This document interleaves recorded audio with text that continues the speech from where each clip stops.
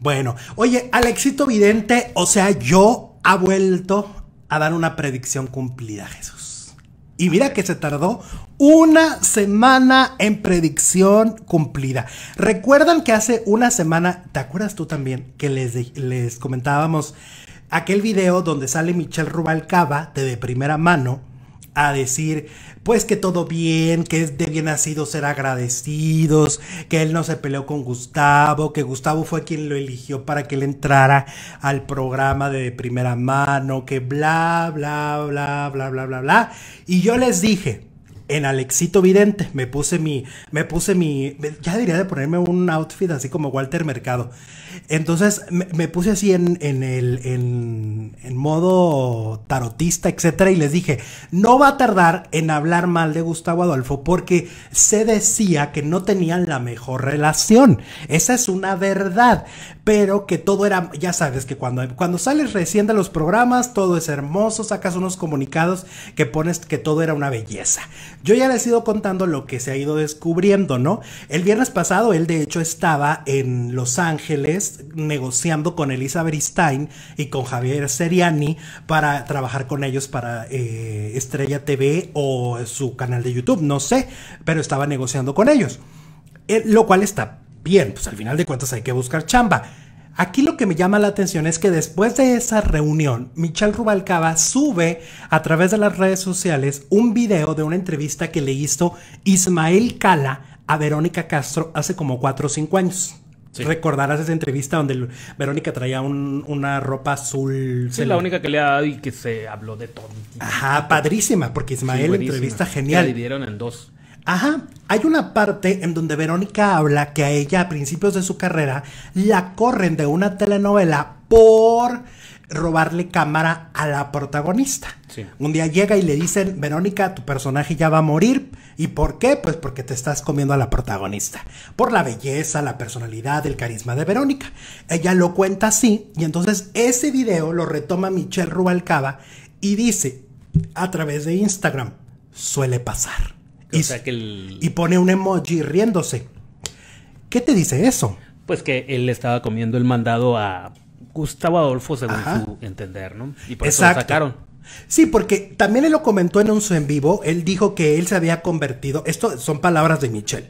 Michelle dice que él se había convertido en el consentido del programa. Que el público lo quería más a él. ¿Qué pasa? A ver, para quienes no estén enterados.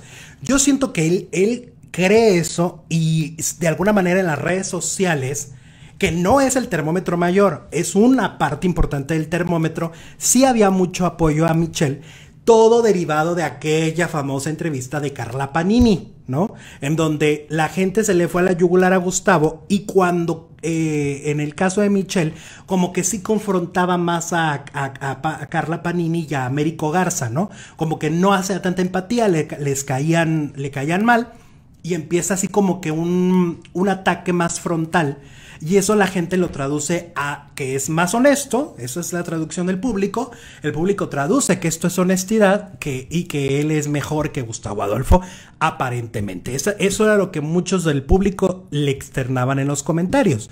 Y por eso se dice que la relación se quebrantó, ¿no? Es un rumor como tal. Ahora, yo les dije que no tardaba y no va a tardar. Y créanme que el día que si llega a ser eh, contratado por Chisme No Like, va a empezar a decir muchas más cosas. Esta otra predicción. Si Michelle es contratado por Elizabeth Stein, va a decir muchas cosas en contra de Gustavo y se va a volver como Marta Figueroa contra Patti Chapoy, que la sigue atacando después de 22 años. Así igualito va a pasar. Ya lo verán, va a suceder. ¿Qué, ¿Qué, relación había entre ellos? Yo no lo sé, yo no trabajaba con ellos, yo la verdad no sé ni de uno ni de otro qué, qué onda, lo que yo les estoy diciendo es lo público. Y en lo público parece ser que Michelle Rubalcaba empezará a despotricar contra Gustavo Adolfo Infante. Al menos es lo que pasó este fin de semana. Bola de cristal y turbante para Alex, dice Sole Soledad. Sí, ya me vi, ya me vi.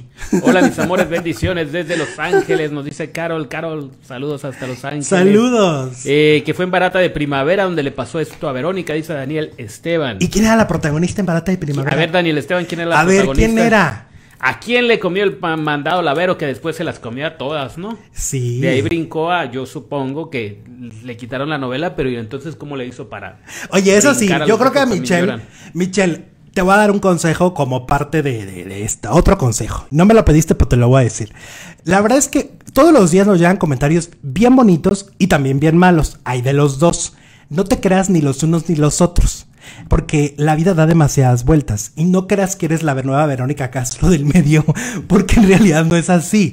O sea, habrá momentos buenos y momentos malos. El día que te toque hacer a lo mejor una entrevista a un personaje no tan querido como Carla Panini, puedes llegar a sufrir exactamente de la misma cuestión. Porque siempre que entrevistas a alguien que en ese momento vive una crisis mediática, la gente se te va encima, ¿no?